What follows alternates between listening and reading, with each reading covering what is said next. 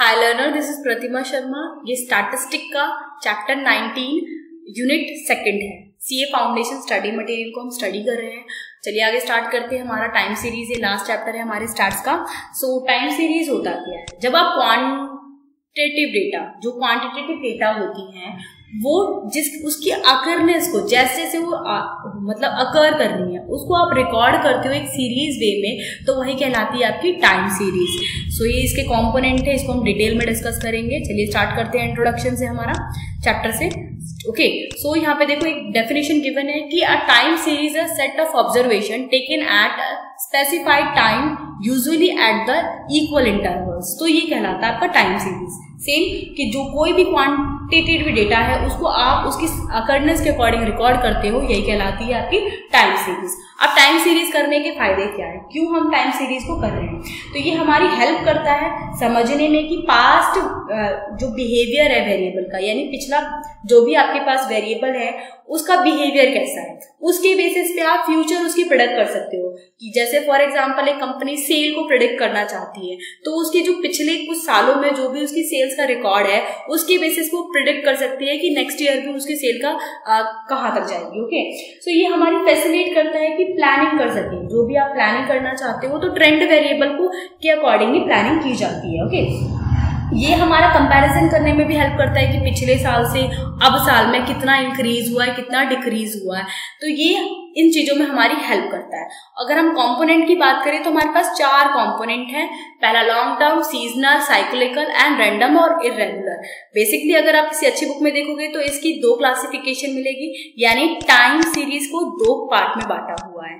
दो कैटेगरीज है। एक होती है लॉन्ग टर्म जिसे हम सेकुलर ट्रेंड भी कहते हैं, यानी यही वाला लॉन्ग टर्म और दूसरा होता है शॉर्ट टर्म शॉर्ट टर्म की बाइफर्केशन ज़्यादा है। शॉर्ट टर्म को वैसे रेगुलर और इरेगुलर में बांटा गया है। यानी regular and irregular irregular okay so irregular के अपने अपने नाम है इरेगुलर को कहते हैं रैंडम और या फिर इरेक्टिक भी कहते हैं। रैंडम रैंडम तो यहाँ लिखा भी है इरेक्टिक भी कहा जाता है। ये कहलाता है इरेगुलर का ही नाम है इरेक्टिक वाला। रेगुलर की फिर से दो क्लासिफिकेशन होती है। एक होती है साइक्लिकल ठीक है?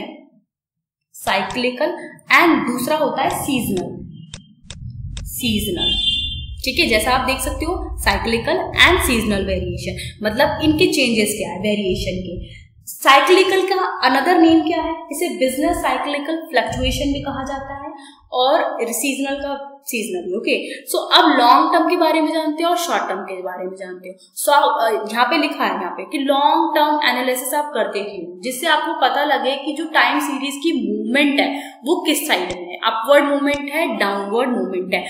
कभी भी जो जो आपकी लॉन्ग टर्म सेकुलर ट्रेंड होती है, वो विद इन अ ईयर नहीं होती, बहुत लंबे टाइम के बाद। जैसे अगर किसी कंट्री की पॉपुलेशन इंक्रीज कैसे कर रही है? मतलब इंक्रीज यानी 2010 में सपोज़ 2010 में क्या उसकी किसी कंट्री की पॉपुलेशन रही और अब क्या है?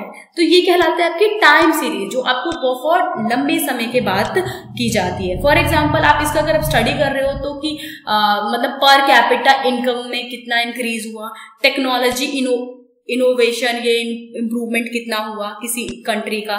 ग्रोथ ऑफ़ द पॉपुलेशन कैसा है? सोशल नॉर्म कैसे चेंज हुए? तो ये तो एक दिन या एक साल में होने वाली बात नहीं है, ठीक है? ये लंबे टाइम के लिए किया जाता है। और जिस वेरिएबल को आप स्टडी कर रहे हो ना, उसे हम ट्रेंड ऑफ़ वेरिएबल कहा जाता है, ठीक है? ओके सो ये हमारा कुछ मोटा मोटा सा जानकारी रहा कि लॉन्ग जो आपका, जो लॉन्ग टर्म है, उसको हम स्टडी क्यों करते हैं ओके अब शॉर्ट टर्म पे आते हैं। शॉर्ट टर्म की तो कई सारी क्लासिफिकेशन थी जो विद इन द ईयर होती है और कभी भी शॉर्ट टर्म एनुअली बेसिस पे नहीं किया जा सकता। इवन इसको आप आर्ली बेसिस पे भी कर सकते हो, पर आप कभी भी इसको एनुअली बेसिस पे नहीं कर सकते।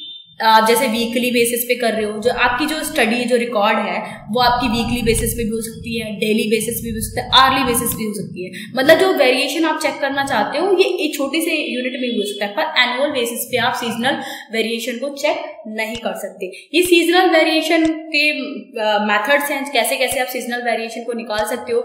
Simple average method ratio to trend method ratio to move average method और link relative methods okay so cyclical में आता है साइक्लिकल वेरिएशन बेसिकली किसी बिज़नेस साइकिल को रिप्रेजेंट करता है।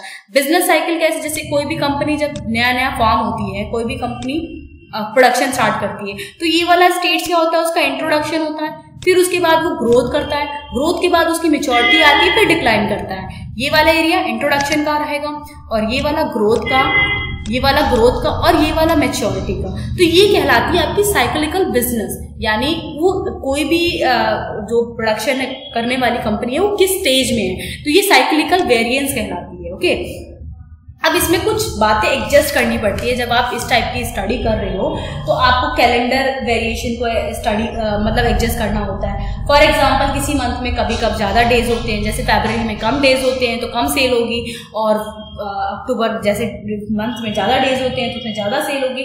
तो आप जब टाइम सीरीज़ को स्टडी कर रहे हो तो कुछ बातें आपको ध्यान में रखनी होती है जो आपको एडजस्ट करनी पड़ती है अपने बारे में। जैसे आता है कैलेंडर वेरिएशन इसमें क्या होता है, सबसे पहले आप कैलेंडर वेरिएशन जैसे अब डे किसी मंथ का वेरिएशन है, फिर price variation okay price variation की प्राइस इंडेक्स के अकॉर्डिंग प्राइस जैसे कि प्राइस हमेशा चेंज होता रहता है तो उसको अपने टाइम सीरीज़ में एडजस्ट करना होता है। पॉपुलेशन चेंज पॉपुलेशन चेंज भी इसमें इंक्लूड होता है कि जैसे जैसे पॉपुलेशन बढ़ेगी आपकी डिमांड बढ़ेगी तो सेल बढ़ेगा।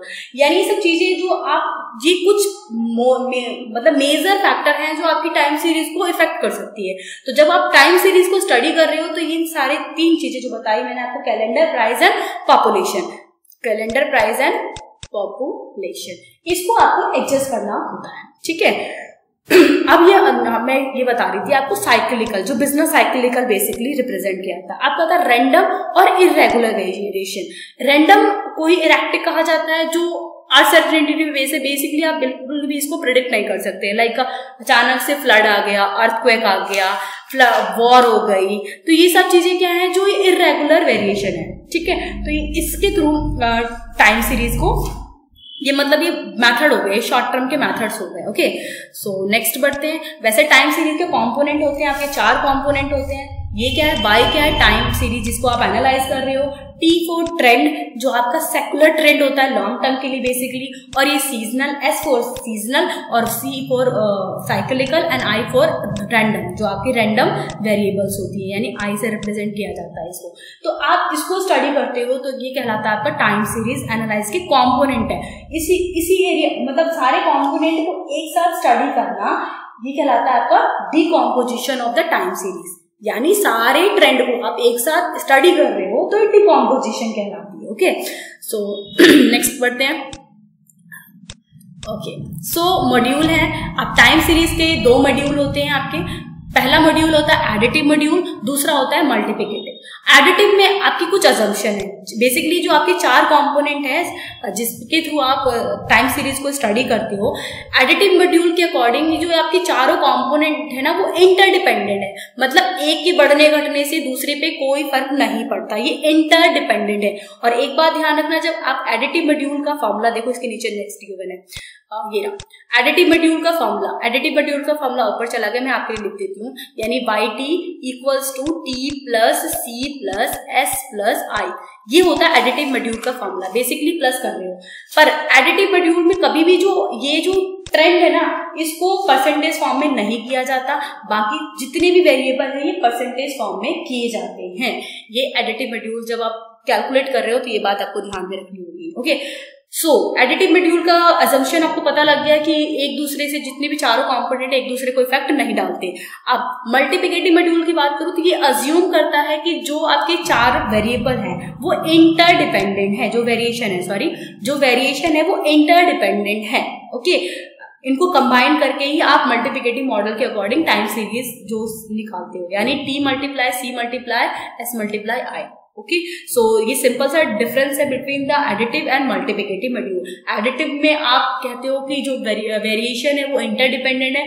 मल्टीप्लिकेटिव कहता है कि जो वेरिएशन है वो आपस में आपस में डिपेंडेंट है. ओके एडिटिव इंटरडिपेंड एडिटिव में फ़र्क नहीं पड़ता, पर मल्टीप्लिकेटिव में फ़र्क पड़ता है एक दूसरे से. ओके सिंपल ओके सो अब नेक्स्ट देखते हैं क्या है.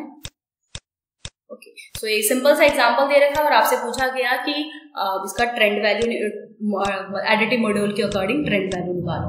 अब मेज़रमेंट ऑफ़ सेकुलर ट्रेंड क्या होती है? यानी लॉन्ग टर्म ट्रेंड निकालना चाहते हो तो उसकी मेज़रमेंट क्या है? मतलब क्या क्या टूल्स ऑफ़ मेथड्स हैं बेसिकली तो पहला आता है ग्राफिक फ्री हैंड मेथड फिर आता है method of semi average method of moving average method of least square method ये सारे के सारे मेथड इंपॉर्टेंट है। ओके okay, सो so पहला मेथड हम देखते हैं। पहला मेथड आता है फ्री हैंड कर्व मेथड ये बहुत ही ज़्यादा ओल्ड मेथड है और ये पॉपुलर भी है ओके ये पॉपुलर है बहुत टाइप का ओल्ड है, जैसे आप यूज़ करते हैं। इसमें करते क्या है? सिंपल सा, जो आपके पास वेरिएबल गिवन है, उसके लिए आपने एक फ्री हैंड लाइन ड्रॉ कर दी ओके इसीलिए इसका नाम भी फ्री हैंड पड़ा गया है। फिर उसके बाद जो वेरिएबल देखते हो कि कहाँ कहाँ लाई कर रहा है, यानी अपवर्ड है डाउनवर्ड है तो इसके अकॉर्डिंग आप स्टडी करते हो। ओके okay, या, यानी ये फ्री हैंड है। अब इसके मेरिट्स क्या हो गया कि सिंपल सा है कि आपने बस एक लाइन ड्रॉ कर दी उसके बाद अपने वेरिएबल्स की जो भी आपके पास डेटा गिवन था उसको प्लॉट कर दिया। उसके बाद आप देख रहे हो कि उसकी आ, मतलब कैसे बढ़ रहा है, घट रहा है, उसके ट्रेंड देखते हो। तो ये है तभी ये कहते हैं ईजी है ये। और इसमें कोई मैथमेटिकल कैलकुलेशन की ज़रूरत भी नहीं पड़ती। अब इसके डिसएडवांटेज वही हो गया ना कि सब्जेक्टिव इन नेचर हो गया कि आप अपने आप से ये ड्रॉ कर रहे हो। तो ये वेरी कर सकता है कि हर कोई अलग अलग फ्री हैंड ड्रॉ करे। ओके सो ये इसका मेजर मतलब डिसएडवांटेज है। ओके अगर आपकी it is if the length of period for which the curve is draw is very small तो अगर आपके पास, अगर आपके पास जो वेरिएशन जो आपका लेंथ है वो बहुत स्मॉल हो तो ये आपको एक्यूरेट रिज़ल्ट नहीं दे सकता।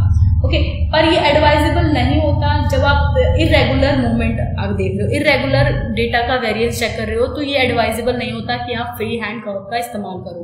ओके सो नेक्स्ट करते हैं। होपफुली आपको समझ में आ गया होगा। ना समझ में आए तो आप मुझे, मेरे इंस्टा आईडी पर मुझे मैसेज कर सकते हैं। मेरी इंस्टा आईडी है Pratima Sharma.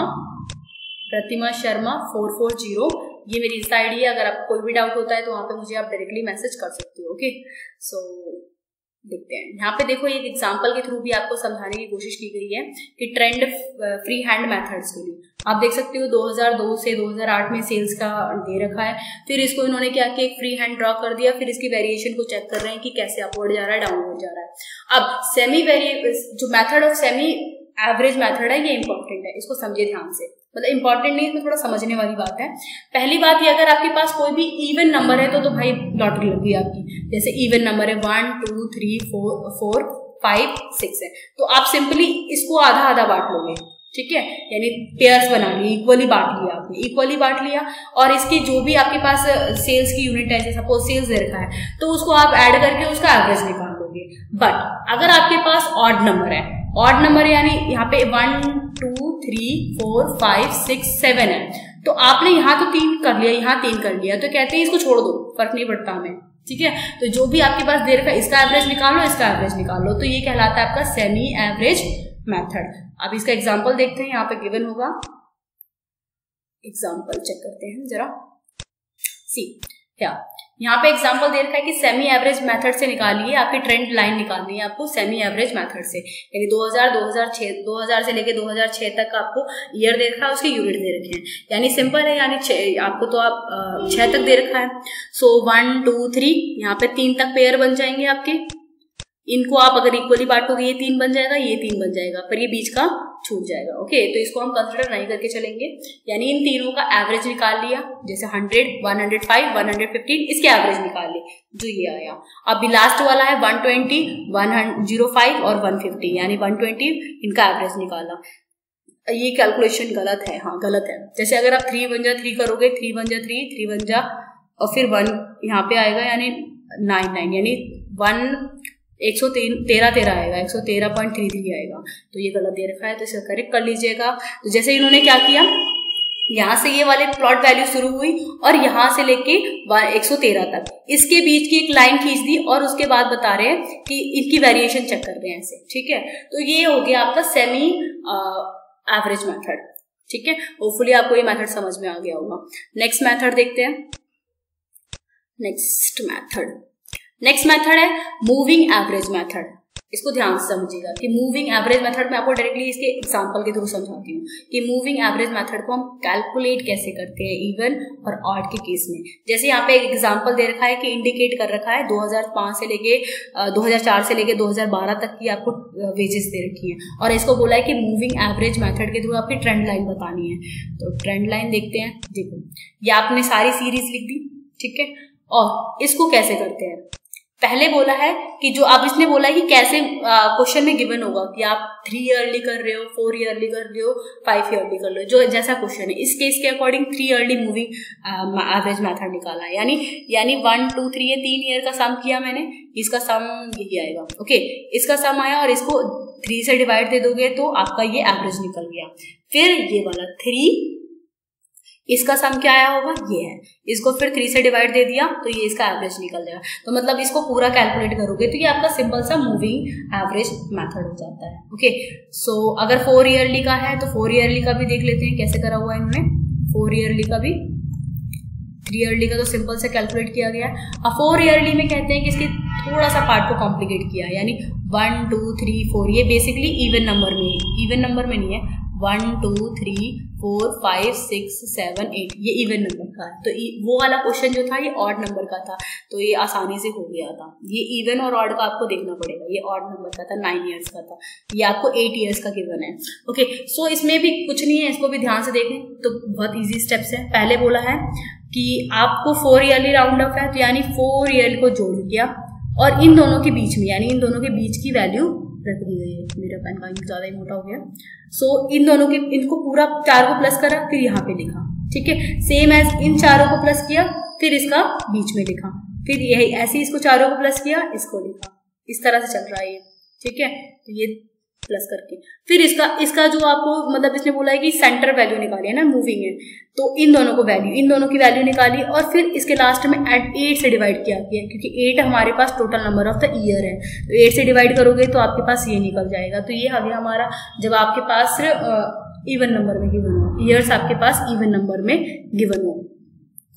नेक्स्ट देखते हैं नेक्स्ट मैथड की तरफ़ बढ़ते हैं। Next method okay so next method हमारा लीस्ट स्क्वायर मेथड है। मैं आपको at the end of the मैं आपको सेपरेट लीस्ट स्क्वायर के लिए सेपरेट क्लास में आपको समझाऊँगी। ओके लीस्ट के बाद तो फिर, चलो नेक्स्ट क्लास में देखते हैं लिस्ट का एग्ज़ाम्पल लिस्ट में यहाँ पे इस एग्ज़ाम्पल में ना गड़बड़ कर रखा है, इसलिए मैं ये एग्ज़ाम्पल के थ्रू आपको समझाना नहीं चाहती। Okay so next next video में देखते हैं हम। So thank you so much for the watching class कल मैं आपके लिए ज़रूर आपको लीस्ट स्क्वायर मेथड के लिए बना के लेके आऊँगी। So,